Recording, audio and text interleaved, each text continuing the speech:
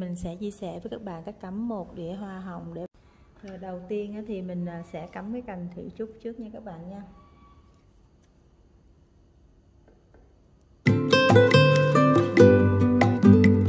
Cắt hai cành thủy trúc bằng nhau sẽ cắm ngay à, ở giữa nè.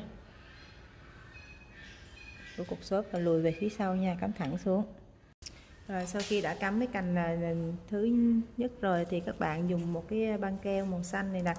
Các bạn có thể nếu muốn ờ, bình hoa nổi hơn thì các bạn dùng cái ờ, màu vàng á, băng keo ờ, cái dây kẽm vàng á bạn cuốn sẽ nó nổi lên.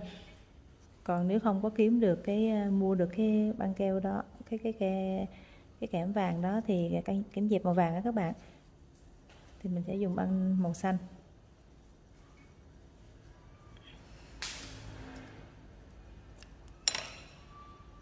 Cành thứ hai cắt xong rồi thì các bạn cũng ờ, cuốn cái băng đó luôn.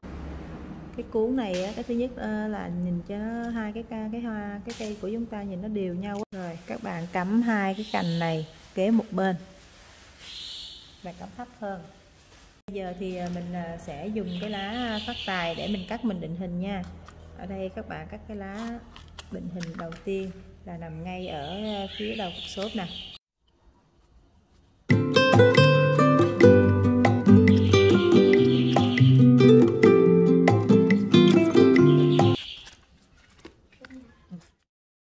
Mình à, sẽ cắm ngay cái dĩa nè những phần cái dĩa nha. Cắm à, hơn nửa cục xốp.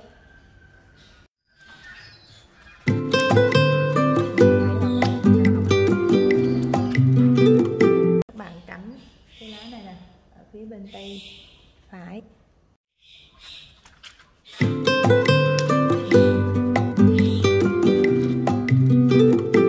Cắm phía bên tay trái một lá như vậy nữa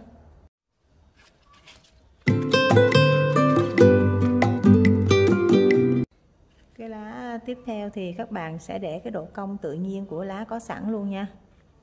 Mình sẽ cắm bên góc của cục mút. Rồi. Cắt thêm một cái lá nhỏ nè, chúng ta sẽ cắm vào.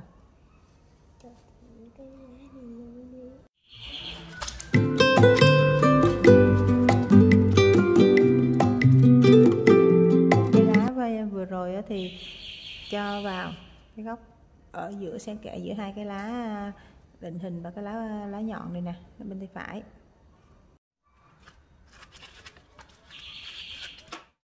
Bạn sẽ gắn bên cái góc của cái bình nè.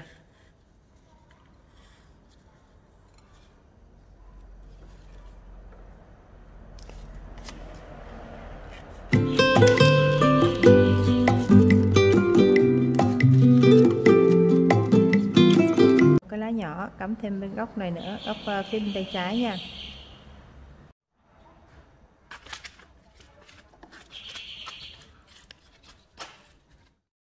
Cắm bên tay trái và cắm theo cái góc của cái uh, xốp.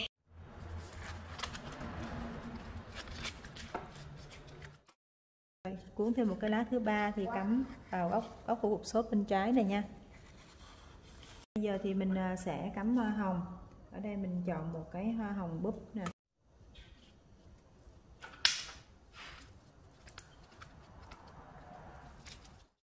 Cắm song song với lại cành thị trúc thứ nhất.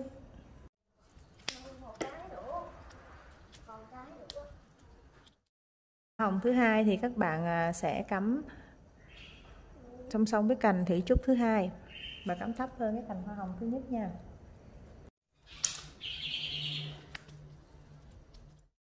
Hoa hồng thứ ba thì các bạn cắm cho nó về đằng trước. Cắm xiên góc nè. Đây, cắm xiên cái góc như vậy là sẽ về đằng trước. Hoa hồng thứ tư thì các bạn à, sẽ cắm cho nó qua bên cái cục mốt phía bên tay phải của chúng ta nè. Khi cắt xong rồi mình à, sẽ đệm hoa nha các bạn. Ở đây mình dùng hoa sao luôn. Nếu các bạn không có thích dùng hoa sao thì các bạn có thể dùng hoa sa lem bệnh đệm vô thì cái bình hoa nó sẽ nổi hơn.